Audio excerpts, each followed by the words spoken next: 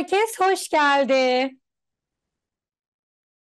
Hoş geldiniz. Merhabalar Ecrin'cim. Tek uzam öğrenci koçu Tuğba ben arkadaşlar. Beni tanımayanlar için önce kendimi tanıtayım. Öğrenci koçuyum. Aynı zamanda öğretmenim. Okul öncesi öğretmeniyim. Ve bugün burada buluşmamızın amacı çok kazanımlı bir amaç. Hoş hoş geldiniz. Hoş geldiniz. Merhabalar. Nasılız? Keyifler nasıl? Dün okullar açıldı. Neler yaptık? İyi miyiz? Herkes iyi mi? Alışmaya çalışıyoruz galiba biraz daha.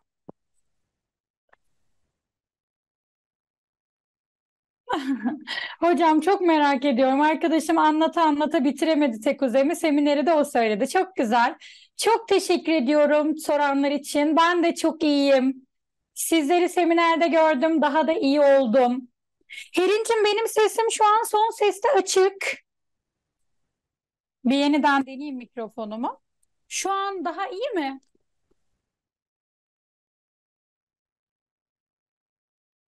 Yok siz sesli katılamıyorsunuz arkadaşlar. Şu an geliyor mu sesim? Tamam. Sesim geliyorsa problem yok.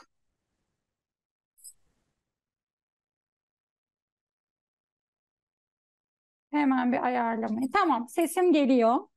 Okey, bir saniye. Şu an daha iyi mi? Kısık mı? Tamam, geliyorsa harika. Çok güzel. Yeniden hoş geldiniz. Çok güzel bir katılım var. Hepimiz YKS'ye hazırlanıyoruz. 2024'te üniversite yolcusuyuz inşallah. Bugün bu seminere de bunun için katıldınız. Ben de size çok güzel bir içerik hazırladım. Çok işinize yarayacak bilgiler, taktikler vereceğim. Hatta eğer şu an evdeyseniz Yanınızda aile bireyleriniz de varsa onlar da sizinle birlikte seminerimizi izleyebilir. Çünkü bu sınav sadece öğrencinin hazırlandığı bir sınav değil. Aynı zamanda ailelerin de sınavı. Yani toplu bir ailecek bir sınav veriyoruz aslında. Onların da size desteklemeleri gerekiyor. Dikkat etmeleri gereken noktalar oluyor. Onların da en az sizin kadar sınavı tanımaları gerekiyor. Önemli, ciddi bir sınava hazırlanıyorsunuz arkadaşlar. Bu konuda öncelikle hemfikir olalım istiyorum. Merve diyor ki, "Aa Zehracığım çok güzel. Ben annemle izliyorum." diyor Zehra. Çok güzel. Siz de eğer aile bireyleriniz, sizin eğitim sürecinizle ilgilenen ebeveyniniz her kimse onunla birlikte izleyebilirsiniz. Eminim o da sistemimizin detaylarını gördüğünde, duyduğunda çok etkilenecek. Onlar senden bir şey olmaz diyor hocam boş verin. Hayır olur mu öyle şey? Hepimizden her şey olur. Yeter ki biz isteyelim arkadaşlar. Lütfen önce öncelik kural inanmak. Hedefini oluştur ve hedefine varacağına inan. Önce kendini inandıracaksın. Yoksa sana kimse inanmaz. Bir öğrencim vardı hocam ben hem KPSS ha Merve hocam ben hem YKS hem ön lisans KPSS hazırlanıyorum. Merveciğim Allah yardımcın olsun Allah kolaylık versin ama e, ben de sistemli bir şekilde ilerlersen ben ikisinde de başarılı olabileceğini düşünüyorum. İkinci üniversite istiyorsun galiba. Kimsenin umudu yok hocam biz kendimizin umuduyuz. Tabii ki de ama zaten hep öyle olmalı Gönülcüm. Önce kendimiz için, her şey önce kendimiz için arkadaşlar. Lütfen dışarıdan çok fazla beklentiye girmeyin. Özellikle şu anda hani sizin gerçekten ablanız yaşındayım. Birçoğunuzdan yaşça çok çok büyüğüm.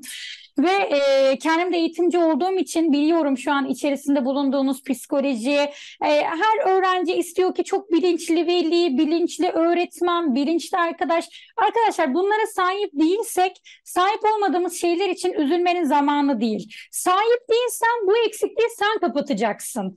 Onlar sana inanmıyorsa sen kendine daha fazla inanacaksın. Onların inanmadığı eksikliği de sen kapatacaksın. Çünkü şunu unutma.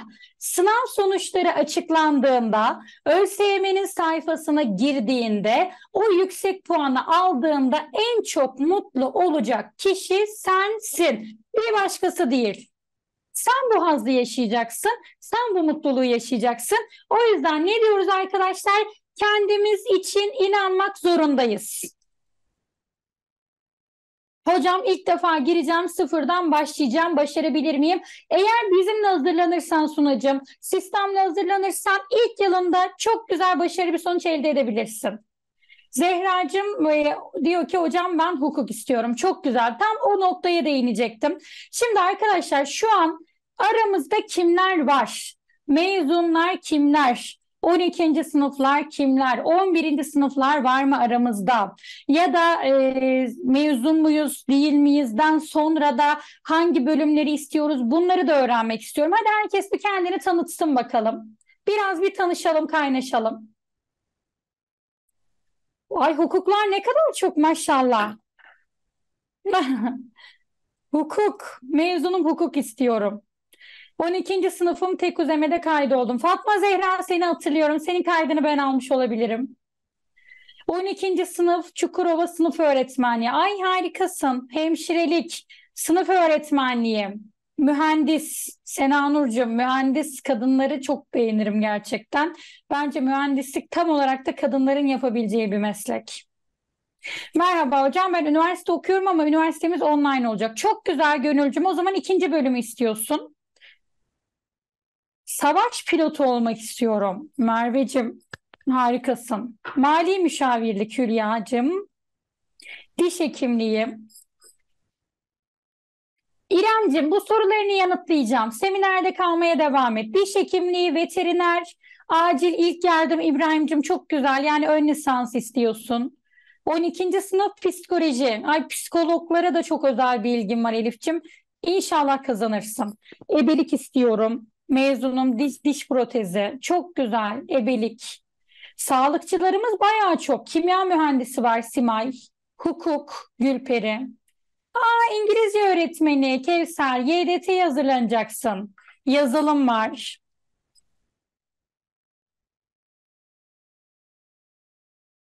Şevvalcığım sayısal puanını biraz daha arttırman gerekiyor. Sayısalı biraz geridesin. Eşit ağırlıktan bir bölüm seçebilirsin. Ama sayısalda 200 binle e, çok zor tıp. Hocam sıfırdan yeni başladım. Sınıf öğretmenliği kazanmak istiyorum. İlk yıldan gidebilir miyim? Medineciğim birazdan anlatacağım kısımları eğer uygularsan, e, profesyonel bir destek alırsan kesinlikle ilk yılında istediğin üniversiteye yerleşebileceğini düşünüyorum. Şevval neden korktun? Korkma, korku yok. Korku olumsuz bir duygu. Hocam iyi bir öğrenci olduktan sonra hangi üniversiteye yazdığımızın bir önemi var mı? Ee, Zehracığım e, okuduğun üniversitenin eğitim kalitesi, e, kaç yıllık bir üniversite olduğu, üniversitenin başarı oranı, orada samimi olacağın arkadaşlar her şey seni etkiler. Eğer iyi bir öğrenciysen zaten akademik olarak e, çok böyle isim yapmış üniversitelerde çok böyle seni e, hak edecek fakültelere yerleşebilirsin. Seçtiğiniz üniversite bölüm çok önemli arkadaşlar. Fatmacığım gelir 300 binden çekeriz biz onu sen merak etme. İbrahim'cim tek uzam ücretsiz değil. Şu anki bu seminerimiz ücretsiz. Ancak eğitimlerimiz var. Biz bir eğitim kurumuyuz arkadaşlar. Ankara merkezli bir online dershaneyiz tek uzam yaklaşık hemen hemen 10 yıldır Milli Eğitim Bakanlığı bağlı olarak çalışan bir kurumuz biz ve sizin gibi bu yıla kadar binlerce öğrencimiz oldu arkadaşlar. Birçoğunu hatta oran da vereyim size %86'sını YKS öğrencilerimizin istediği üniversitenin istediği bölümlerine yerleştirdik. Başarılı bir kurumuz hiç merak etmeyin. Sayısalcıydım ve bir buçuk ay kala eşit ağırlığa geçtim. 140 bindeyim. Hukuk için çalışacağım. Yapabilir miyim? Rojincim yapabilirsin. Tıp gelir mi? Hocam mezunum ama matematiğim kötü. Bir matematiğe ben değineceğim. Onu bir ara bana yeniden hatırlatın. Matematik çok duyuyorum son günlerde. Tamam. Tamamdır. Tamamdır Zehracığım. Artık biraz tanışıp kaynaştıysak şimdi burada asıl olma amacımıza gelebiliriz. Hazır mıyız? Herkes hazır mı? Bu sorunun cevabını yanıtlayacağız. Hazır mıyız? Seviyene göre sen YKS'ye nasıl çalışmalısın? Herkes hazırsa başlıyorum. Çok güzel. Arkadaşlar bu hepimizin ortak sorduğu bir soru.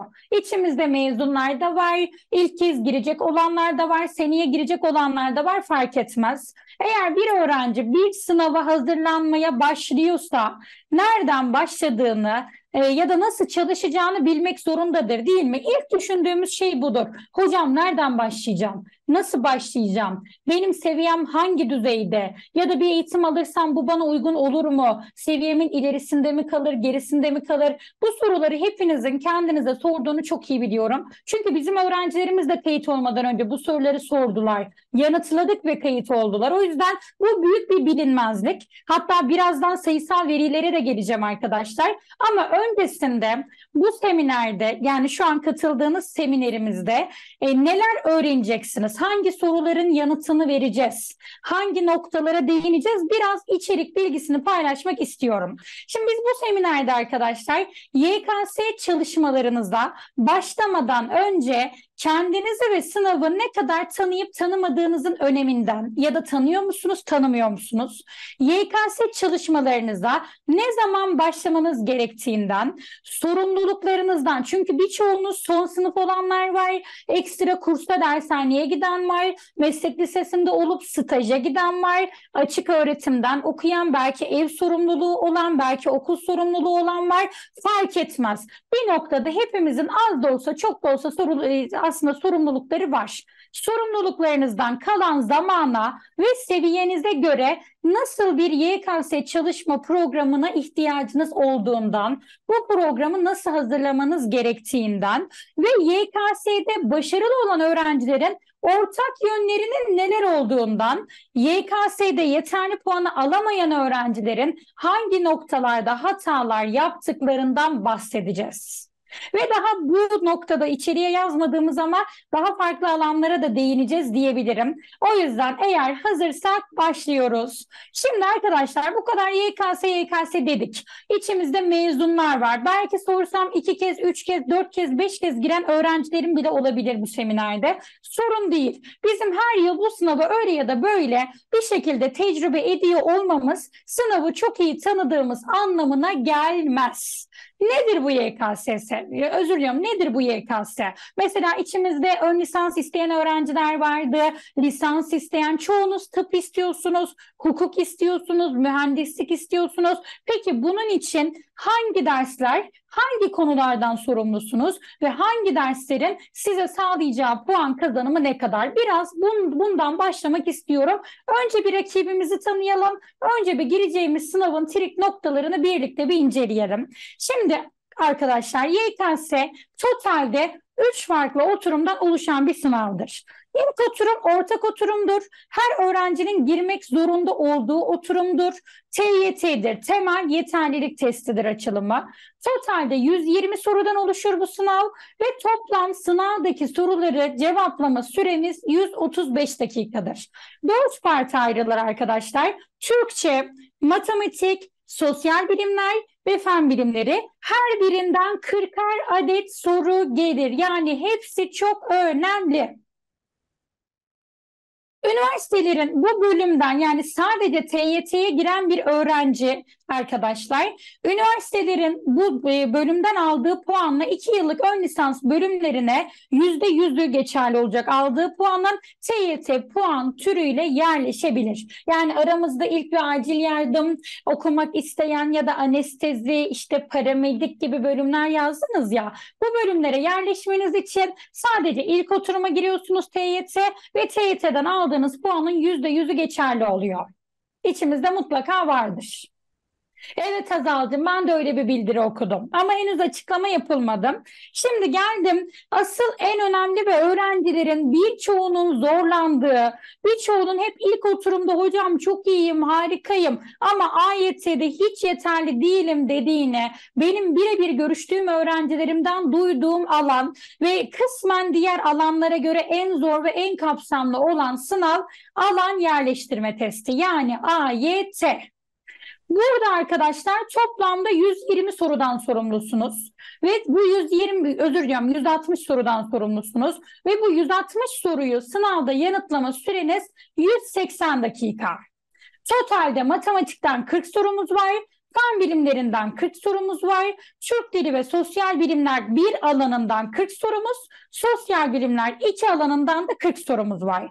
Eğer hedeflediğiniz bölüm 4 yıllık bir bölümse AYT'ye girmek zorundasınız. AYT'de kendi içinde 3 ayrılır. Sayısal, sözel, eşit ağırlık. Hangi bölümü seçiyorsanız arkadaşlar her bölümün bir puan türü vardır, bir kategorisi vardır. O kategorideki puanınızın en yüksek puanınız olması gerekiyor ve AYT'den elde ettiğiniz puanın %60'ı alınıyor. TYT'nin %40'ı alınıyor. Toplam puanınız neyse sizin yerleştirme puanınız o oluyor. Miyasecim çok mümkün gibi gelmiyor. Hocam sınavın kaldırılıp okul başarı puanıyla yerleştirme okul yerleştirme olabilirmiş. Bu çok mümkün gelmiyor bana. Evet, bu sefer çünkü çok fazla bir rakip sayısı var ve o kadar e, her rakibin gidebileceği kadar bir okul ya da bölüm yok. O çok böyle biraz e, yanlış yönlendirme gibi geldi bana. Sen bu bilgiyi çok da kabul etme bence. Şimdi geldim içimizde İngilizce öğretmeni adaylarım vardı. Kimlerdi onlar? Kim, kimler İngilizce öğretmenliğinden hazırlanıyordu? Hadi parmak kaldırsın. Kevser başka? Vardı birkaç öğrencim daha hatırlıyorum. Ya da yabancı dil Fransızca öğretmenliği olabilir, Almanca olabilir. Tamam. Kevser'cim sen İngilizce öğretmenliğinden hazırlanıyorsun. Senin girmen gereken puan, e, senin girmen gereken ikinci oturum AYT'ye girmiyorsun. YDT yani yabancı dil testi, Almanca, Arapça, Fransızca, İngilizce ve Rusça gibi yani birçok alandan oluşuyor. Hangi bölümü seçiyorsan o bölümün testine giriyorsun. Toplamda 80 soru, 120 dakikalık bir test ve üniversitelerin 4 yıllık dil bölümleri YDT puanının %60'ı aynı yine AYT'nin görevini görüyor aslında. %60 YDT puanı yine TYT puanının da %40'ıyla totaldeki %100 puanın senin yerleştirme puanın oluyor. Kısmi de olsa en azından sınavı böyle akademik terimlerle az da olsa tanımış olduk. Özellikle ilk giren öğrencilerim için bu verdiğim bilgiler bence çok önemliydi arkadaşlar. Bayramcığım KPSS ile ilgili içeriklere değinmeyeceğim. Bu bir YKS semineri. Burada sadece YKS'ye ait bizim verdiğimiz hizmetimiz ve YKS öğrencilerimizin takıldığı noktalarla ilgili bilgi aktaracağım. Şimdi geldim. Az önce bana soruyordunuz arkadaşlar. Hocam şu kadar bindeyim. Bu fakülteye yerleşir miyim? Hocam şu şehri istiyorum. Hocam bu üniversiteyi istiyorum. Hocam hukuk için kaç bine girmem lazım gibi sorular geliyordu. Hülya Hocam mali müşavirliğe de girmeyeceğim. Bu bir YKS semineri. Yani üniversite sınavına hazırlanan öğrencilere özel içerikler hazırladım. Bunun üzerine bilgi aktaracağım. Şimdi sınavı tanımak kadar arkadaşlar başarı sıralaması şartlarını da unutmaman gerekiyor. Çünkü senin hedefin neyse o hedefe ulaşman gerekiyor. Önce hedef belirlenir. Bir yola çıkmadan önce nereye gitmek istediğini kararını verirsin değil mi?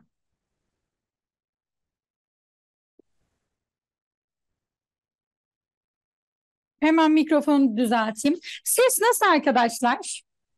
Berfin'cim ek tercihlere değinmeyeceğim. Onu biz kayıtlı olan öğrencilerimizle ona özel içerikler yaptık.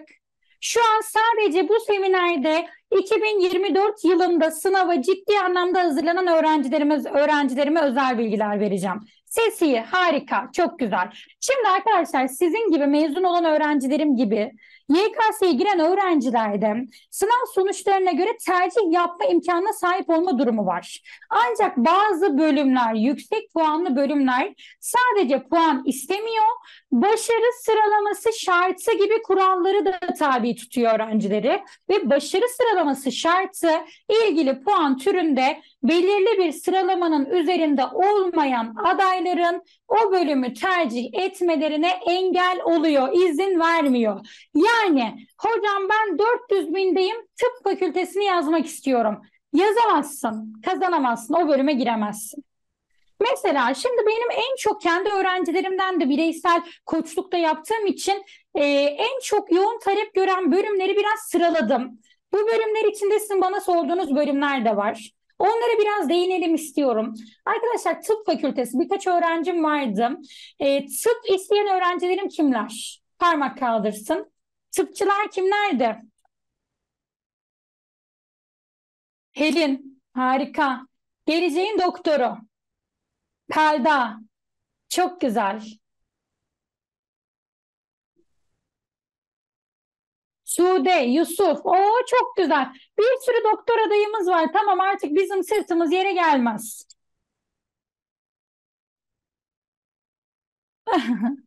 Evet, 100 bin. Zehracığım onu düzeltelim. Tamamdır. Zeynep de geleceğin tıpçılarından, doktorlarından. Çok güzel. Şimdi arkadaşlar tıp fakültesi sayısal alandan alım yapan bir bölüm ve minimum taban başarı sıralamanız sayısalda 50 bin olmak zorunda. 50 binin altına düşmemeniz gerekiyor. Yani 60 bin olamaz, 70 olamaz, 100 bin olamaz, 400 bin olamaz. Onlara da değineceğim Ceylin'cim. Yine en çok bana ikinci sorulan en çok bölüm hocam ben diş hekimi olmak istiyorum diyorsunuz. Siz ve diğer öğrencilerim. O da sayısal alanda arkadaşlar puan türü. Minimum 80 bine girmek zorundasın. Evet Zehracığım ama iyi ki diş hekimlerimiz var. İyi ki hepimiz böyle düşünmüyoruz Zehracığım. Diş hekimlerimiz kalp. Geldik yine en çok sorulan üçüncü sağlık alanımız eczacılık. Sayısal alandan alıyor arkadaşlar ve ilk 100 bine girmek zorundasınız. Buradaki veriyi dikkate almayın 100 bin. Düzeltiyorum. Ee, eczacılık sayısal puan türünden 100 bin taban başarı sıralamasına sahip olmanız gerekiyor. Sunacım veterinerlik için de söyleyeceğim. Yok onlara yazık hocam yoksa başımızın tacılar. Aynen öyle Zehracığım. Geldik yine en çok böyle inanılmaz bir Z kuşağında yeni nesilde müthiş bir adalet kavramı var arkadaşlar. Size çok güveniyorum. Gerçekten yeni nesile dair inancım çok çok yüksek ve hukuka inanılmaz bir talep var. Hukuk fakültesi yani belki de arkadaşlar günde ben 10 tanesinin bir YKS öğrencisiyle görüşüyorsam minimum bir 4-5 tanesi hukukçu olacağım, hakim olacağım hocam, savcı olacağım, en iyi avukat ben olacağım diyor. Hukukçuları da arkadaşlar puan türü eşit ağırlık 125 bine girmeniz gerekiyor. Zehracığım nasıl çalışmanız gerektiğine değineceğim. Yine mimarlık kısmen diğer bölümlere nazaran daha az sorulsa da yine çok çok popüler, çok yoğun talep gören bir alan. Sayısal puan türünden ilk 250 bine girmeniz gerekiyor. Öğretmenlerim, Ceylin'cim sen PDR'yi falan soruyordun. Öğretmenliğin arkadaşlar bütün eğitim fakültelerinde hemen hemen ortalama. Yani sen Türkçe öğretmeni de olabilirsin, İngilizce öğretmeni de olabilirsin, din kültürü ve ahlak bilgisi öğretmeni de olabilirsin, beden eğitimi öğretmeni de olabilirsin fark etmez. Birçok eğitim fakültesi arkadaşlar sayısal, sözel, eşitlik ve YDT puanı ile toplamda ilk 300 bin gibi bir sıralama istiyor. Elif'ciğim psikoloji yanlış hatırlamıyorsam yine bunu e, sistemden de kontrol ederim. İlk 100 ila 125 bin arasına girmen gerekiyor. Bu arada arkadaşlar burada değinmediğim bölümler e, bu zorunluluğun olmadığı bölümler üniversiteye göre değişir Elif. Benim burada aldığım özellikle bölümleri neden bunları aldınız hocam? Diğer bölümler niye yok diye soracak olursanız bunlar bu sıralamayı zorunlu girmek zorunda olan bölümler olduğu için aldım. Burada olmayan hemşirelik, fizyoterapi, sosyal hizmetler, İBF'ler, psikoloji bunların tamamında üniversiteye göre, kontenjana göre e, sıralama değişir. Yani bazen öyle olur ki çok düşük bir sıralamayla herhangi bir güzel olarak nitelendirdiğin bölümü kazanabilirsin. Çünkü o bölümün bir başarı sıralaması zorunluluğu yoktur. Mühendislikte de arkadaşlar son olarak söylüyorum. Sayısal alanda ilk 300 bine girmeniz gerekiyor. Şimdi geldik arkadaşlar. Bu bu arada en son 2023 yılında bu yıl e, taze bir sınavdan çıktık 18 Haziran'da. Bu yıl yapılan sınavda giren aday sayıları, rakip sayılarınızla ilgili sizi bilgilendireceğim. Ama bu söyleyeceğim sayılar 2024 yılında çok daha fazla artacak. Bunun bilgisini de önden ileteyim.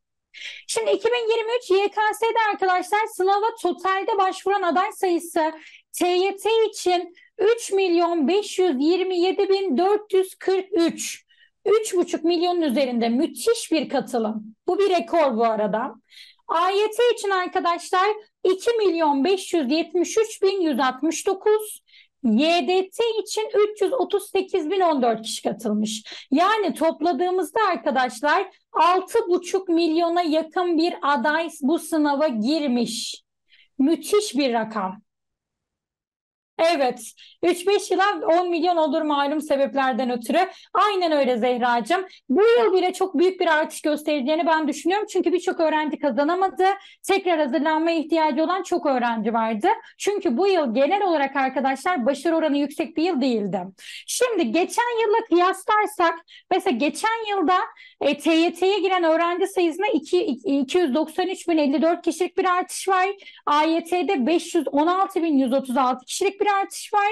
YDT'de 169.584 kişilik bir, art bir artış var. Yani artık 24 yılında yolcu olmak istiyorsan, istediğin üniversiteyi kazanmak istiyorsan hayalindeki üniversite için daha fazla kişiyi elemek zorundasın. Çünkü çok daha fazlasıyla yarışacaksın.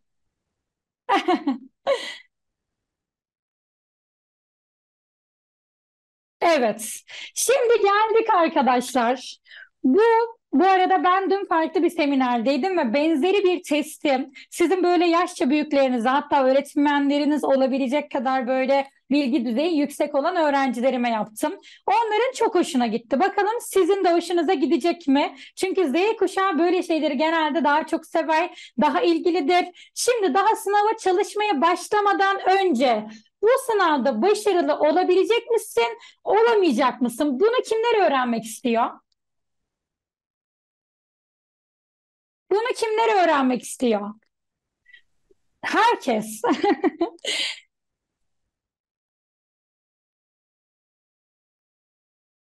Çok güzel.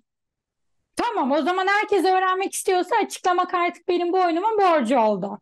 Arkadaşlar, şimdi sorduğum sorularda evet ya da hayır diyeceksiniz. Bunu lütfen bir kenara not alın. Hatta chat paneline de chat paneline chat paneline de yazabilirsiniz. Hocam bu soruya evet diyorum ya da hayır diyorum. Çünkü e, soruların sonunda toplam evet ve hayır sayımıza göre bunun kararını vereceğiz. Tamam? Başladık. Birinci sorum, verimli çalışma yöntemini biliyor musun? Hayır, hayır, hayır. Hayırlar havada uçuşuyor. Hayır. Verimli çalışma yöntemini bilenler var mı? Bakalım evet çıkacak mı? Hiç evet yok mu? Evet, kayıtlı öğrencilerimiz olabilir.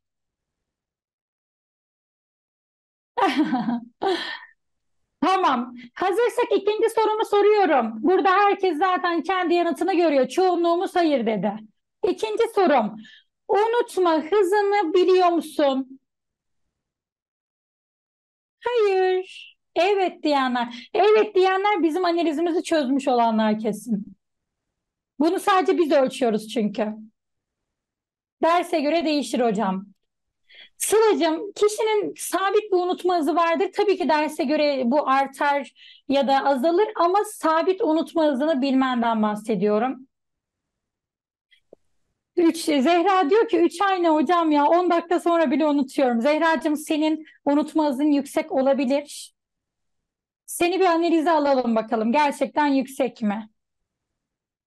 Tamam çoğunluğumuz yine hayır bilmiyoruz yani. Geldim üçüncü soruma. Senin için hangi konunun hangi öncelikte olduğunu biliyor musun? Evet diyenler. Kayıtlı öğrencilerimiz mi onlar bizim? Senin için hangi konu hangi öncelikte? Böyle fizik diyen var, matematik diyen var, edebiyat diyen var. Geometri diyen var. Arkadaşlar peki bu önceliği neye göre neye göre belirledik? Onu da soracağım birazdan ama şu testimizi bir yapalım. Bir kimler yolcu, kimler bizimle onu bir görelim sonra ona da değinelim olur mu? Tamam. Şimdi geldim dördüncü soruma. Odaklanma düzeyini yani dikkat dağınıklığı düzeyini biliyor musun? Evet, hayır, hayır, hayır, hayır. Sakın hiçbir şey bilmiyorum diye üzülmeyin. Ne dedim ben seminerin başında? Umutsuzluk yok. Bunun için buradasınız zaten. Hiç yok ki hocam. Esma'cığım hiç mi dikkatin yok senin? Odak düzeyim çok düşük. Paragrafı okuyorum, hayallerde buluyorum hocam kendimi diyor Gönülcüm. Çözeceğiz merak etme Gönül. Hemen dağılıyor. Hocam dışarıda rüzgar esse dikkatim dağılıyor. Ah seni o kadar iyi anlıyorum ki. Tamam, sıkıntı yok, merak etmeyin. Çoğumuz hayır dedik. Yalnız değilsiniz. Peki geldim sondan bir önceki soruma. Günde kaç saat ders çalışman gerektiğini biliyor musun? Hocam ben şu kadar saat çalışsam kesin kazanırım. Hayır, evet, aşağı yukarı. Ortalama bir cevap. 8 anca yeter diyor İrem. 4 saat çalışsam yeter. Kesin bir sonuç genelinde olmuyor. 5 saat, 6 saat. Sıla diyor ki hocam 5 saat benim istediğim bölüm için yeterli mi? Sıla'cığım bunu seviyeni bildikten sonra cevaplayabilirim. 7 saat, 9, 10. Çok güzel. Evet Zehracığım, benim değinmek istediğim bir konuya değindin. Arkadaşlar biz burada saatleri yazıyoruz ve farkındasınız ki her öğrenci ayırabileceği süreyi farklı olarak yazıyor. Yani hocam bence 10 saat yeter. Bir başkası diyor ki 3 saat yeter. Bir başkası diyor ki 5 saat yeter. Buna da değineceğiz. Son sorumuzu da sorayım. Bunu da ben not aldım. Değineceğim konular içerisinde vardı zaten. Şimdi geldim. Kazanacak mıyız, kazanma, kazanmayacak mıyız? Bunun yanıtını aradığımız son sorumuza geldik. Hangi konuda, hangi seviyede olduğunu biliyor musun? Kazanacağız, tabii ki de kazanacağız.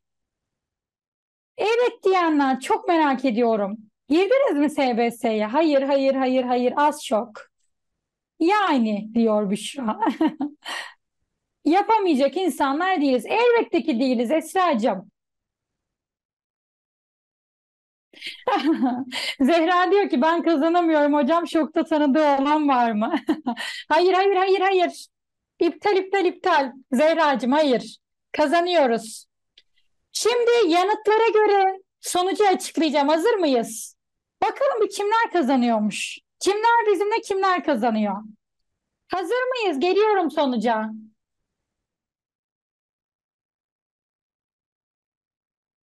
Arkadaşlar eğer evetleriniz çoksa tebrik ediyorum. 2024 YKS'de sizi yolculuyoruz. Otobüste ya da uçakla istediğin üniversiteye gidiyorsun. Eğer bu soruların hepsine evet dediysen, çoğuna evet dediysen sen kesin kazanırsın. Sıkıntı yok. Ama hayırların çoksa endişelenme, korkma ve üzülme. Bu seminerde kalmaya devam et ve can kulağıyla beni dinlemeye devam et. Çünkü bu sorulara hayır dedik ya arkadaşlar. Şimdi nasıl olurdu da biz evet derdik? Bunların formülünü açıklayacağım. Hocam ne olur kazandırın bizi. Daha çok başında eğlendik. Merak etme Zehracığım. Şimdi geldik arkadaşlar. Bu sınavı nasıl kazanırız? Şimdi ben öğrencilerle çok sık görüşüyorum, seminerlerde görüşüyorum, yüz yüze görüşüyorum, sesli görüşüyorum. Binlerce öğrenciyle yıllardır görüşüyorum ve öğrenciler bunu bana çok soruyor arkadaşlar. Diyor ki hocam bize bir trik verin. Neye dikkat edeceğim? Ben önceliğin neye alacağım? Nasıl çalışacağım? Ne olur bize bunu söyleyin onu yapalım diyorlar. Eminim siz de bunları bilmiyorsunuz birçoğunuz. Mesela mevcut seviyeni bilmeden hazırlığa başlayamazsın verimli olmaz. Verimli ders çalışma yöntemini keşfetmeden yola çıkmamalısın. Nereye gideceğini bilmiyorsun, nasıl gideceğini bilmiyorsun, nereye gideceksin? Sınava ne kadar süre kaldı? Hedef sürene ne kadar uzaklıktasın bunu bilmek zorundasın. Günlük ders çalışmaya ayırabileceğin süre bak herkes farklı yanıt verdi. Ayşe dedi ki 10 saat, Mehmet dedi ki 5 saat, Gülsen dedi ki 3 saat. Yani ne demek oluyor arkadaşlar? herkesin ders çalışmak için ayırabileceği süre birbirinden farklı. Bunu belirle. Önce bunu belirle. Ben kaç saat çalışacağım? Bunu bilmek zorundasın. Ve en önemli olan kısım ne arkadaşlar biliyor musunuz? Gireceğiniz sınavı ve bu sınava girecek olan kişiyi yani kendinizi çok iyi tanımak zorundasınız. Eğer bunları bilirseniz, bu dikkat edilmesi gereken kısımları dikkat edip buna uygun bir programı hayata geçirebilirseniz 2024 yılında yolcusunuz demektir. Peki hocam tamam bunlara dikkat etmeliyiz ama nasıl? Ben seviyemi nasıl ölçeceğim? Ben hedefime ne kadar uzaklıkta olduğumu bilmiyorum. Nasıl öğreneceğim dediğinizde duyar gibiyim ve demişsiniz zaten chat paneline baktığımda da. Şimdi gelin bunun yanıtını size ben vereyim. Ama öncesinde biraz daha beyin fırtınası yapalım. Arkadaşlar tarih birçok eşit ağırlıkta da var, sözelde de var, TYT'de de var ve çok fazla soru geliyor. Size bir soru. Sizce tarih dersi için konu anlatımı mı yapman gerekiyor yoksa direkt soru çözmen yeterli mi? Nasıl öğrenirsin? Herkesten yanıt bekliyorum. Konu anlatımı artı soru, konu artı soru birini seçeceksiniz. Hangisini yaparsanız öğrenirsiniz. Ya da siz hangisini yaparsanız öğrenirsiniz. Soru çözümü, konu artı soru, okumak diyor Esra. O herkesten farklı farklı yanıtlar geldi. Sayısalcılar için soru bence özet geçmek, konu ve bol soru, konu yazma, minik notlar alınmalı diyor. Tamam. Ben size bu sorunun yanıtını vereyim mi? Hazır mıyız? Hazır mıyız? Bakalım doğru yanıt neymiş? Çünkü bu sorunun yanıtı hepinize göre farklı, bana göre de farklı, herkese göre de farklı. Bakalım bakalım. Arkadaşlar ben sene diyorum seminerin başından beri bu sınav strateji işi ve stratejini kendine göre belirleyeceksin. Yani bana diyecektiniz ki hocam bu öğrenciye göre değişir. Konu mu çalışmalı, soru mu çözmeli? Bunun doğru bir cevabı yok. Burada değişken olan şey öğrenci. Öğrenci hangi seviyedeyse onu yapmalı arkadaşlar. Çünkü her öğrencinin kendisine özel bir stratejisi olmak zorunda. Geldim. Peki hocam ben kendimi hangi derste nasıl çalışmam gerektiği noktasında bilinçli hissetmiyorum. Hangi derste konu çalışacağım, hangisinde soru çözeceğim, hangisinde deneme çözeceğim, hangisinde yazacağım, hangisinde dinleyeceğim. Bunlar da yine çok geliyor arkadaşlar. Eminim sizin de bu yönde sorularınız var. Çünkü bilmiyorsunuz, eminim bilmiyorsunuz ki bilmemeniz, ki bilmemeniz çok normal. Ama merak etmeyin bu soruların yanıtı da bizde. Bir bakalım chat panelimize. Tabii ki seviyeye göre. Zehra diyor ki hocam ben tarihe yazın başladım hiçbir şey hatırlamıyorum. Zehracığım o kadar doğru ki bu bu arada. Yani yanlış bir stratejiyle ilerlediğin için şu an yaptığım belki de 2-3 aylık çalışmanın süresi e, boşa gitti diyebilirim ama Allah'tan o bir ön hazırlıktı. Yine zararı olmaz ama sıfırdan başlamamız gerekebilir. Şimdi arkadaşlar bizim eğitim sistemimizde, bizim garanti öğrenme modeli sistemimizde yani yapay zeka sistemimize kayıt olduğunuzda biz sizin hangi dersin hangi konusunda hangi seviyesinde olduğunu ölçüyoruz. Bunun için ne, yapmamız gerekiyor? Bir seviye belirleme sınavına girmeniz gerekiyor değil mi? Bu artık şart. Bu artık Allah'ın emri oldu yani. Sen seviye belirleme sınavına girdin. İçimizde sözelci öğrenciler yok mu? Sözelci bir öğrenci tarihi senden önce çalıştıysa, geçen yıl sınava girdiyse, çok başarılıysa, onun tarihe ayıracağı süreyle, tarihte yapacağı çalışma türüyle senin aynı olabilir mi? Sadece bunun yanıtını bekliyorum. Evet Zehracığım. Kayıt olduğunuzda her dersten tek tek seviyenizi ölçüyoruz. Tabii ki hayır diyorlar değil mi? Hayır, aynen öyle. Hayır arkadaşlar, senin o derste geçmişte yaptığın çalışma bile o derste soru mu çözmen gerektiğini, konu mu çalışman gerektiğini değiştirebilir. Şimdi geldim. Peki hocam ben o derste temel seviyedeyim. Ne yapmam gerekiyor? Arkadaşlar matematiği yazıyorsunuz dakikalardır. Matematikte altyapısı olmayan bir öğrencinin önce altyapısını oluşturması gerekmez mi? Mantıksal düşünelim. Altyapın yok. Hiç çalışmadın. Ne yapman gerekir? Kayıt için link vereceğim. Seminerin sonunu bekle. Temel atman gerekir Kevser'cim. Aynen. Temeli neyle atarsın? Ön hazırlıkla. Bizim sistemimize kayıt olduğunuzda arkadaşlar e, derslerdeki seviyenizin temel olduğu konularda biz size önce ön hazırlık yaptıracağız. Yani zemini birlikte atacağız. Çünkü senin buna ihtiyacın var. İki, eğer o konuda daha önce az çok bir çalışman oldu ama hala başlangıç düzeyindeysen ne yapman gerekiyor?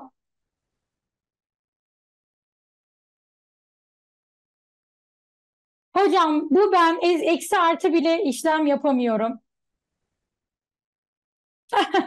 Artık özel derse son. Zehracığım bizim sistemimize kayıt olduğunda özel derse ihtiyacın kalmayacak. Hiç merak etme.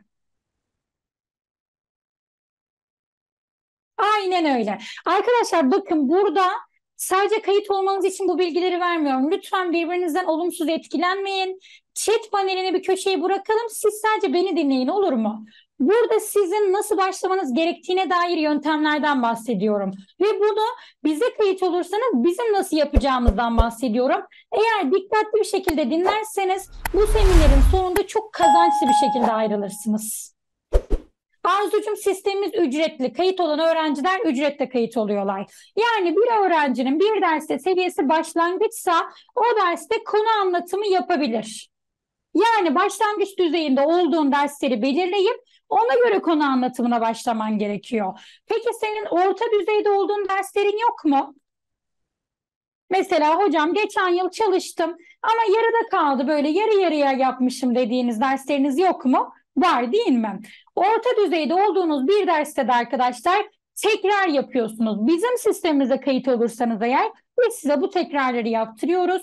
Tabii ki içinizde bir derste ileri düzeyde olan, üst düzeyde olan öğrencilerim de var. Bu öğrencilerin de artık konu anlatımı yapmaya, tekrar yapmaya, ön hazırlık yapmaya ihtiyacı olmadığı için ihtiyaçları olan kolay soru çözümü ve orta zor seviyede soru çözümünü bizim sistemimizde birlikte yapabiliyorlar. Harikasın Miyase'cim. Peki şimdi geldik. Leyla hepiniz olsun. Herkes kendi dersindeki sahip olduğu sorumluluğu, sorumluluğu olduğu derslerdeki aşağı yukarı seviyesini tahmin ediyordur. Tabii ki tahminler üzerine değil, net bilgiyle bu sisteme girmek en mantıklısı ama örnek olarak Leyla'nın seviyelerinden bahsetmek istiyorum.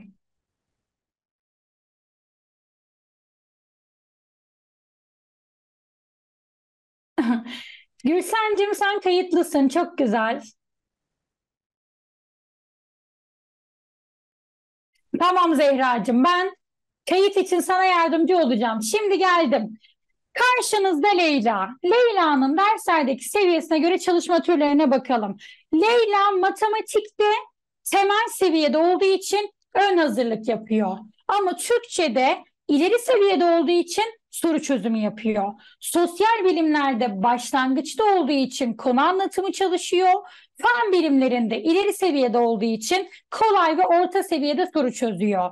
Edebiyatta orta seviyede olduğu için tekrar yapıyor. Yani siz arkadaşlar kendiniz hazırlandığınızda ya da herhangi bir dershaneye, herhangi bir kursa kayıt olduğunuzda sizi hadi bakalım hürra başta hepsini sıfırdan ya da başta hepsini ortadan, başta hepsini ileriden diyorlar ya bu sağlıklı bir yöntem değil. Çünkü senin derslerde bile seviyen ayrışıyorken bir derste daha ileriden başlaman gerekirken birinde ön hazırlıktan başlaman gerekebilir. Bunun ayrımını da senin seviyeni bildikten sonra yapabilirler değil mi arkadaşlar? İşte bizim sistemimizde kayıt olursanız eğer biz sizin bütün derslerdeki seviyelerinizi tek tek ölçüp hangi seviyedeysen o seviyenin karşılığına gelen çalışma türünde çalışmalarınızı bireysel olarak, özel olarak yaptırıyoruz.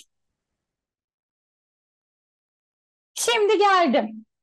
Peki hocam ben se ben bu se bu seminerde seviyenin önemini çok iyi anladım ve seviyemi ölçmek istiyorum dediniz. Tamam, çok güzel. Bunu bayağı da yazdınız. Gördüm bayağı 8-10 öğrencimden. Şu an bu seminere katıldığınız için size seviye belirleme sınavımızda hediye edeceğim. Bunun linkini seminer sonunda paylaşacağım. Ama eğer seminer kısmı netle ama eğer seviye kısmı netleştiyse şimdi gelelim seviyemizin dışında hangi başlıklara değinmemiz gerektiğini. Hazır mıyız? Diğer maddelere geliyorum.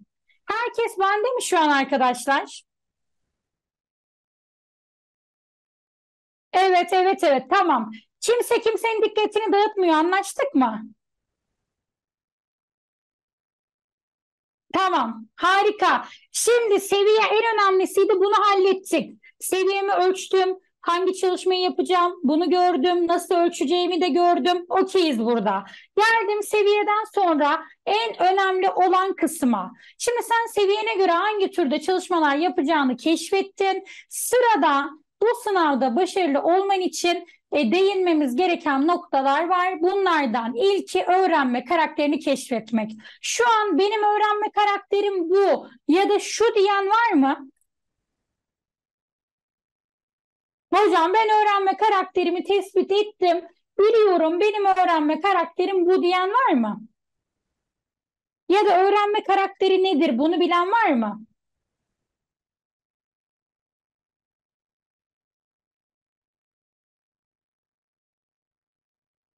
Tamam. Dağınık olmayan ortamda sessiz çalışmak. Hayır diyorlar. Sözel zeka ve görsel öğrenme. Aa, Gülsencim senin tek uzeme kayıt olduğun o kadar belli ki. Bak öğrencilerin içine nasıl ayrılıyorsun? Arkadaşlar bilinç böyle bir şey. Her şey öğrenilir ama öncelikle farkındalık.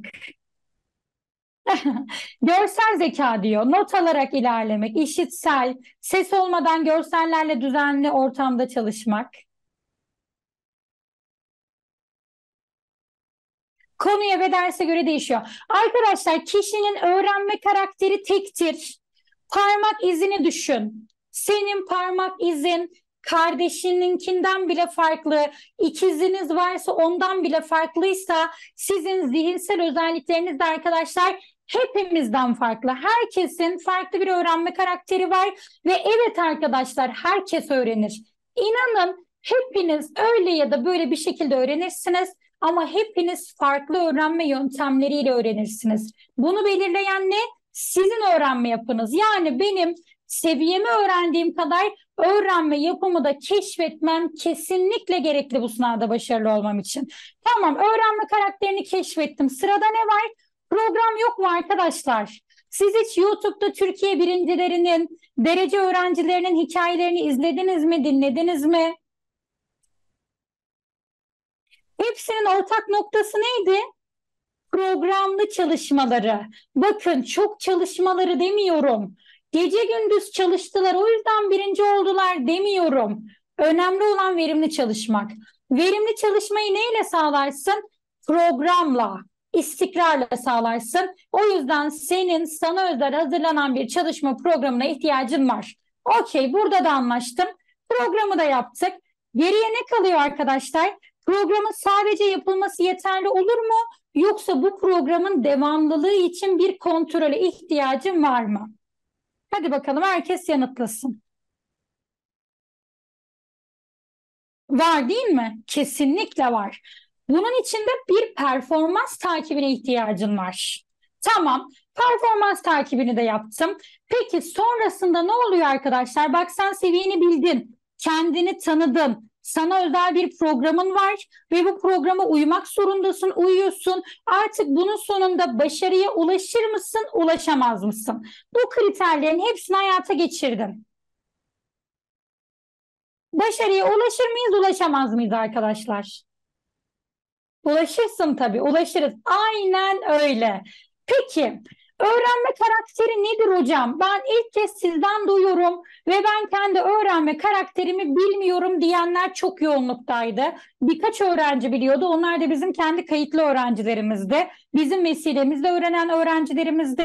Ben hepinizin Artık bugünkü seminerden sonra bir öğrenme karakterinizin olduğunu bilmenizi ve nasıl bir öğrenme karakterine sahip olduğunuzu bilmenizi istiyorum. Bunu bilerek bu seminerden ayrılmanızı istiyorum. Çünkü bu hayat boyu işinizi çok kolaylaştıracak bir bilgi olacak. Arkadaşlar ne kadar ders çalışırsanız çalışın.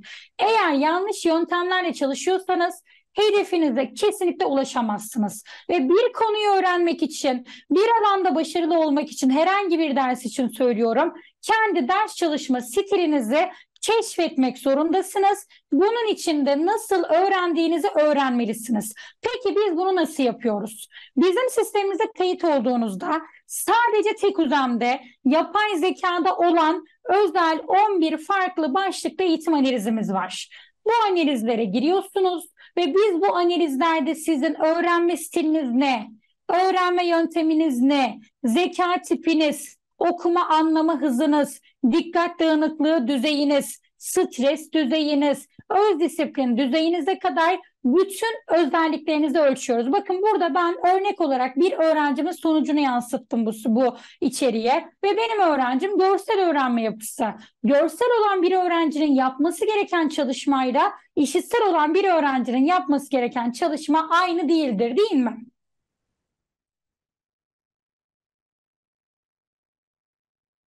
Zehracığım annen yanından ayrılmasın birazdan kayıt kısmına geleceğim. Tabii ki verebilirim. Aleyküm selam. Sen de çok selam söyle. Hemen numaramızı yazıyorum. Bu bizim WhatsApp numaramız Zehra'cığım. Yaz ben seni seminerden sonra arayıp kaydını alacağım. Arkadaşlar öğrenme stiliniz nasılsa ona uygun çalışmanız gerekiyor. Şimdi geldim. Artık CV'mi ölçtü bu sistem benim. Nasıl öğreneceğimi de ölçtü. Peki sırada ne vardı? Ders çalışma programı. Şu an içimizde farklı herhangi bir kurumdan destek alan öğrencilerim var mı? Hocam ben destek alıyorum ve çok yoğunum. Vaktim çok az kalıyor. Günde birkaç saatin dışına çıkamıyorum. Ya da ben okula gidiyorum hocam. Özel okula gidiyorum. Sıla var, Helin var, Gökçe var. Ha Gökçe herhangi bir destek almıyor. Aa Nisa'cığım çok şanslısın. Diyor ki Nisa, hocam ben mezunum evdeyim. Bütün zaman benim. Çok güzel. Ok okul ve doping Serkan. Çok güzel. Şimdi arkadaşlar sizin her birinizin farklı sorumlulukları olduğu için ders çalışabileceğiniz sürede birbirinden ayrılıyor. Ama eğer bizim sistemimize kayıt olursanız biz size özel yani kişiye özel bir çalışma planı hazırladığımız için sizin ders çalışabileceğiniz süreyi sizden öğreniyoruz. Sınava kalan zaman kaç hafta kaldı şu an sınavınıza? Senin seviyen, ve sana özel olarak hazırlanan ders çalışma programına sen artık bu yola çıkıyorsun. Kazanmak için bizimle bu yola çıkıyorsun ve biz bu yolda seni yine yalnız bırakmıyoruz. Sistemimiz her hafta e, sana hazırlanan ders çalışma programında öğrendiğin ve öğrenemediğin konuları, uyum sağladığın ve uyamadığın konuları belirliyor, bunları takip ediyor ve çıkan verilere göre de her hafta ders çalışma programını otomatik olarak yeniliyor. Yani dinamik bir programın olacak. Miyase diyor ki e, İmam Hatip Lisesi'ne gidiyorum ve okulum donanımda değil. Sınavlarım, derslerim aşırı yoğun olduğu için ders çalışmaya çok vaktim kalmıyor. Miyase'cim hiç üzülme çünkü önemli olan e, saat olarak fazla çalışman değil. Eğer o minimal ayırdığın süreyi bizimle neye ne kadar çalışman gerektiğini bilerek programlı ve her gün çalışabileceğin şekilde değerlendirebilirsen ben çok rahatlıkla hedeflediğim bölüme yerleşebileceğini düşünüyorum. Şimdi burada ben yine bir öğrencimin e, sistemin hazırladığı örnek bir takvimini sisteme yansıttım seminerin içeriğine. Mesela birlikte bir bakalım istiyorum. Burak'cığım biz yaklaşık 8 yıldır var olan bir kurumuz. Esma'cığım kayıt olmadan ders çalışma programından faydalanamazsın. Bu sadece tek ödemin kayıtlı olan öğrencilerinin faydalandığı, bir yıl boyunca faydalandığı bir sistem. Şimdi herkes öğrencimizin örnek takvimine bir baksın. 9 ve 9.35 arasında Türkçeden tekrar yapmasını istemiş sistem. Tekrar hangi seviyenin karşılığıydı? Hadi bakalım kimler hatırlıyor, kimler dikkatli, kimler dikkatsiz bunu görelim. Tekrar hangi düzeyde geliyordu? Zehracığım dikkatine hayran kaldım. Gülsencim senin de Büşra, Nurbahar harikasınız. Orta. Demek ki ben buradan bu neyi anlıyorum arkadaşlar? Bu öğrencim Türkçe'de orta seviyede olduğu için ben ona tekrar yaptırıyorum. Mola verdiriyor. Mesela ben bu öğrencinin dikkat dağınıklığının olduğunu düşünüyorum. Sizce dikkat dağınıklığı var mı? Zehra. Ya da dikkat dağınıklığı olan bir öğrenci blok ders çalışmalı blok ders çalışması yapabilir mi? Verimli olur mu? Yapamaz değil mi? Bakın biz bu öğrencinin dikkat dağınıklığını da ölçtük ve dikkat dağınıklığı yüksek olduğu için ona her maksimum 35 veya 40 dakika arasında onlar dakikalık mola verdirdik. Yani öyle bir sistem düşünün ki arkadaşlar sizin dikkat dağınıklığı düzeyinize göre çalışmalarınızda ara vereceğiniz süreyi bile size özel hesaplıyor ve bunu otomatik karşınıza getiriyor. Peki matematikte konu anlatımı yaptırmak istemiş sistem buna. Konu anlatımı hangi seviyenin karşılığıydı?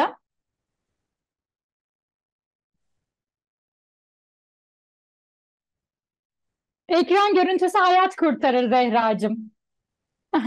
Büşra'cığım temel değil başlangıç. Muhammed tebrik ederim. Nurbahar tebrik ederim. Harika doğru yanıt verdiniz. Yine molayı verdirdi. Coğrafyadan soru çözümü yaptırdı. Soru çözüm hangi seviyenin karşılığında yapılan bir türdü? Evet. Evet bu sefer Zehra söylemesin. Büşra, Esra, Gülsen, Kevser. Oo ne kadar dikkatli öğrencilerim var ya. Harika arkadaşlar. Bu dikkati eğer derslerde de gösteriyorsanız siz kesin kazanırsınız ya. Çok sevindim. Çok güzel. Arkadaşlar soru çözümü e, ileri ve üst seviyede yapılan bir çalışma türüydü. Peki geldik birçoğumuzun korkulu rüyası fizik. Allah'ım fizik deyince bile öğrencilerim nereye kaçacağını şaşırıyorlar görüşmelerde. Fizikte ön hazırlık yaptırmış. Demek ki fizikte bu öğrenci hangi seviyede arkadaşlar? Esra diyor ki hocam dersten başka her şeye odaklanıyoruz. Hayır işte Esra. Bunu değiştirmek zorundayız. Önce zihinde başlar değişim. Temel. Zehra yalnız değilsin. Fizikte birçok öğrenci çok temel seviyede. Evet arkadaşlar doğru yanıtladınız. Ön hazırlık yaptırıyor çünkü fizik dersinde bu öğrencimizin seviyesi temel. Yani buradan şunu görebiliyorum. Bir gün içerisinde beni öyle bir çalıştırıyor ki hangi derste neye ihtiyacım varsa onu benim karşıma getiriyor. Ve ben bir öğrenci olarak sadece ne yapıyorum arkadaşlar? Sistemin benim için hazırladığı günlük ders çalışma programına uyum sağlıyorum. Sizce de böyle bir sistem sizin de işinizi kolaylaştırmaz mı? Başlangıçtan öncesi temel kesinlikle diyor Nurbahar. Aynen öyle. Senden tek istediğimiz öğrencilik yapmak, ders çalışacaksın ama bizim yönlendirmelerimize uyum sağlayacaksın. Esra da evet diyor. Çok güzel. Peki, başa alıyorum. Seviyemi biliyorum. Öğrenme karakterimi biliyorum. Bana özel programım hazırlandı. Dördüncü kıstas neydi? Bunun sürekliliğini sağlamaktı. Yani benim takip edilmeye ihtiyacım var. Peki biz bunu nasıl yapıyoruz? Arkadaşlar performans takibi hayat kurtarır. Bakın bir çalışmadan verim aldığınızı, alamadığınızı geri bildirim olarak gördüğünüzde ona göre yeni aksiyon alırsınız. Ama bilmeden verim aldığınızı düşünerek yanlış bir süreçte ilerlerseniz üzülerek söylüyorum ki bu gerçekle sınavla yüzleş sınavda yüzleşmek istemezsiniz. Çünkü eğer sınava kadar herhangi bir takibe tabi değilseniz sınav sonucunuz tekrar hazırlanmaya yönelik çıkabilir. Bu çok yüksek bir ihtimaldir. O yüzden ara ara es verip ben ne yaptım? Ne kadar ilerledim? Hedefime ne kadar ne kadar sürem kaldı? Ne kadar yaklaştım? Ne kadar uzaklaştım?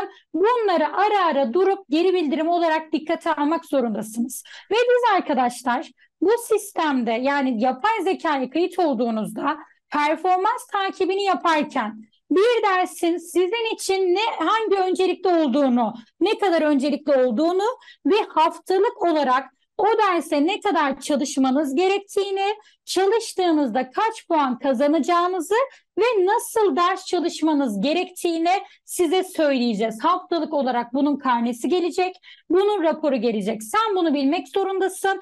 Bu bilginin cevabı bizim sistemimizde var. Mesela burada yine bir öğrencimin örnek performans alanından bir ekran görüntüsü aldım. Öğrencim Türkçe'de tekrar yapması gerekiyordu. Yapmış bak tamamlandı diyor. Gördün mü? Tik var. Yapmadığı çalışmalarda çarpı var. Yani bunlar eksik. Sistem bunu senin yerine hesaplıyor. Diyor ki Ayşe bu hafta 10 puan kazandın. 13 puan kazanmalıydın. 3 eksik puanın var. Peki bu 3 eksik puana ne oluyor?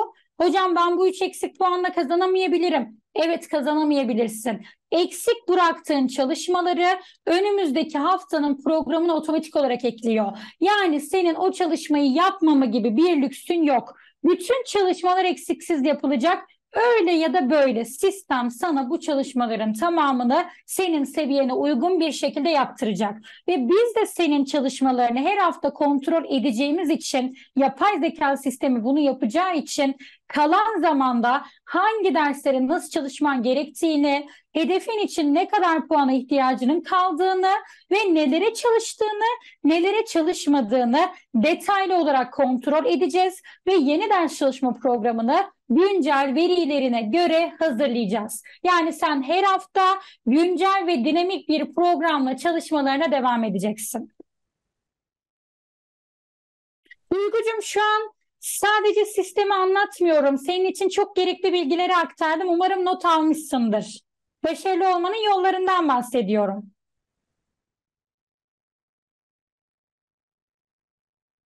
Her hafta program yenileniyor. Tabii ki de Zehracığım. Senin şu an sınavına 40 hafta mı var? 40 kez bu ders çalışma programın yenilenecek. Şimdi geldim arkadaşlar. Hocam peki bu sistem çok güzel bir sistem. Tam aradığım sistem, aradığım bütün özellikler bu sistemde var. Bu sistemde sadece benim uyum sağlamam gerekiyor.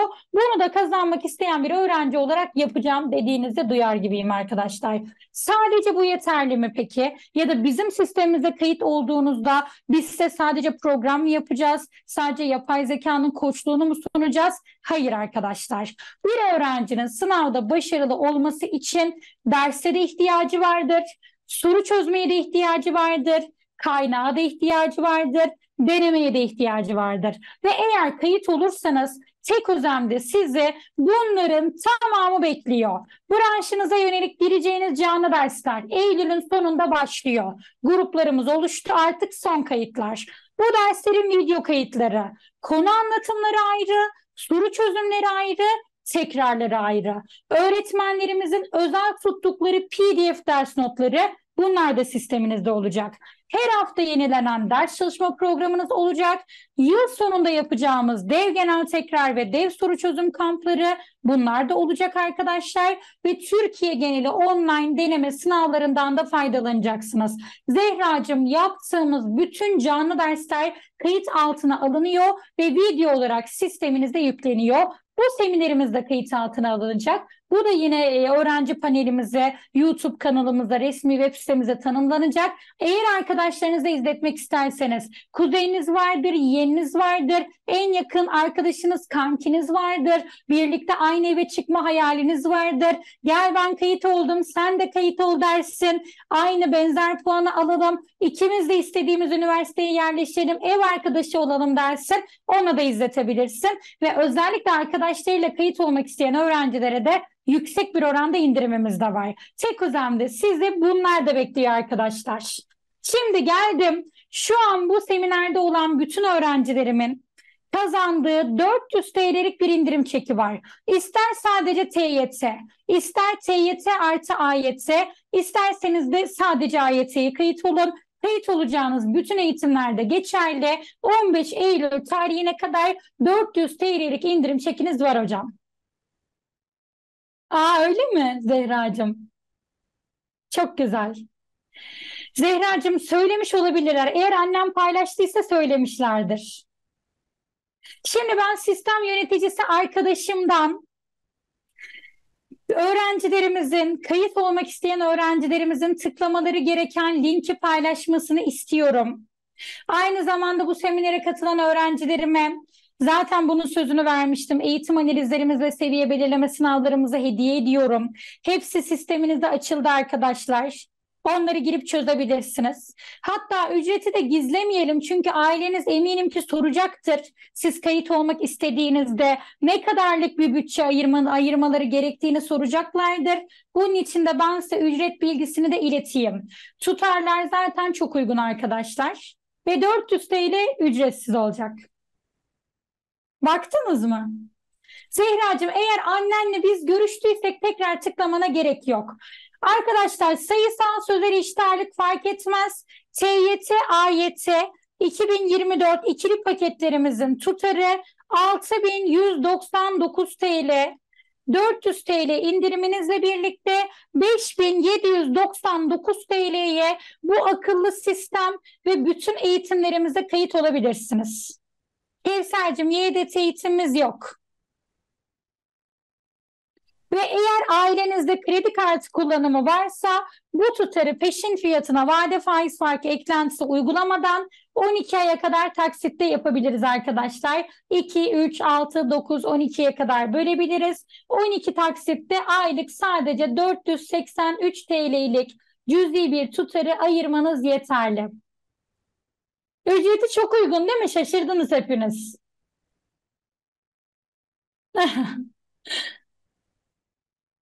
Genelde öğrencilerimden aldığım geri bildirim. Çünkü dershane fiyatları uçmuş durumda arkadaşlar.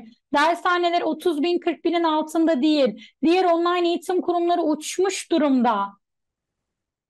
Ben sizin hepinizin bu yıl yolcu olmasını, üniversiteli olmasını istediğim için özel bir indirim kodu kapıp da öyle geldim. O yüzden sistem yöneticisi arkadaşım tekrardan WhatsApp linkimizi iletsin. Kayıt olmak için ailenizle görüştürmek isteyebilirsiniz. Bizi görüşebiliriz arkadaşlar. Hiç problem değil. Bu gibi görüşmeleri yapmak için ilettiğim linkten seminerden geldiğinizi yazmanız yeterli. Evet Esma'cığım, benimle özel olarak konuşabiliyorsun. Ailenle de görüşebilirim. Eğer ailenin çok bilgisi yoksa. O konuda da yardımcı olabilirim. Bu seminer kayıt altına alınacak arkadaşlar. Ailelerinize de izletebilirsiniz. Eğer hocam ben yapay zekayı sizin gibi uzun uzun anlatamam ya da ben de o kadar hakim değilim diyorsanız hiç riske atmayın. WhatsApp'tan yazın biz ailelerinize görüşürüz. Tamam. Çok güzel. Esma linke tıkla. Ailemle sizi görüştüreceğim yaz. İndirim kodun en azından sabit kalsın. Arada bir seminerler yapacağız. Kayıtlı olan öğrencilerimizde arkadaşlar düzenli periyotlarda yaptığımız e, motivasyon, adaptasyon, güdülleme, bilgilendirme seminerlerimiz var. Eğer kayıt olursanız çok daha sık görüşeceğiz inşallah sizinle. Onun dışında var mı bana sorularınız sistemimizle alakalı, çalışmalarımızla ilgili? Eğer sorularınız varsa sorularınızı da yanıtlamak isterim. Kayıt olmak için ilettiğim linke tıklamayı unutmayın. Zehracığım çok teşekkür ediyorum aktif katılımın için. Esma'cığım sana da seminere katılan diğer öğrencilerime de çok güzel geçti. Çok keyif aldım. Eminim bu seminer sonunda birçoğunuzla artık kayıtlı öğrenci olarak görüşmelerimize başlayacağız zaten. Çok teşekkür ediyorum Miyase'cim. Ben de çok teşekkür ederim. Son kez linke tıklayın, linki ileteyim. Tıklayın, bilgi almak, kayıt olmak için Ailelerinizle bizi görüştürmek için ilettiğim linke tıklayıp Tuğba Hoca'nın seminerinden geliyorum, görüşmek istiyorum yazmanız yeterli.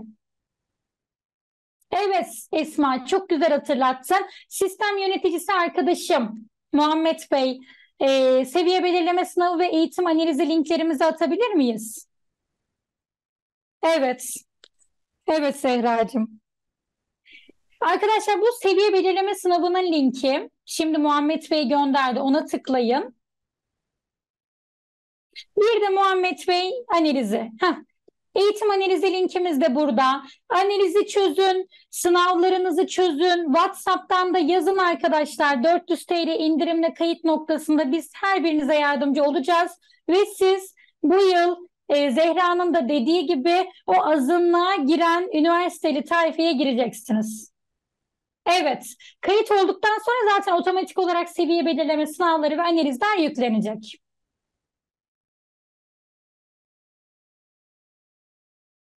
Miyasecim bu indirim yani kayıt olma tarihi en geç 15 Eylül'e kadar geçerli.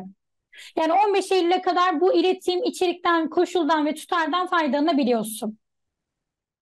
Eğer farklı sorularınız yoksa gidiyorum ben.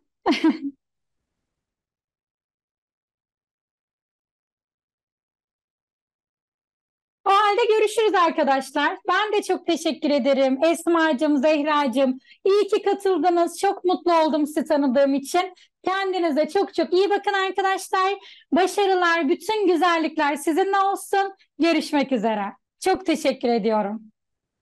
Tamam Zehra'cığım, seni ben arayacağım kayıt kaydını tamamlamak için. Görüşürüz Sude'cim. Esma'cığım görüşürüz. Esma seni de arayacağım ama WhatsApp'tan yazdın değil mi bak? WhatsApp'tan yaz Tuğba hocam beni arayabilir mi diye. Tamam harikasın çok güzel. Görüşürüz arkadaşlar. Kendinize çok iyi bakın.